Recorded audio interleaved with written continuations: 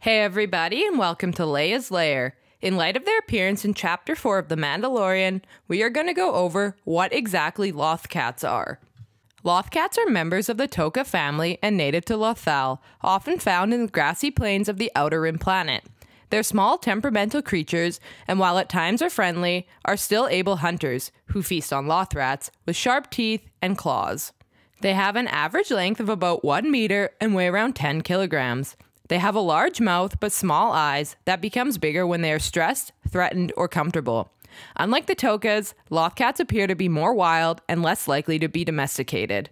Around 34 ABY, lothcats were imported to the planet Batuu and sold as pets in the creature stall at Blackspire Outpost. Certain lothcats are known to have special connections to the Force. In Rebels, the white lothcat acted as a guide for Ezra Bridger when he returned to Lothal.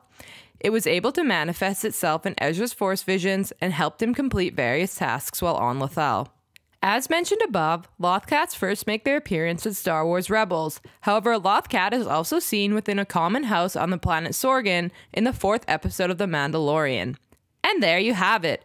Thanks for watching, everyone. What do you think about Lothcats? Let me know down below in the comment section.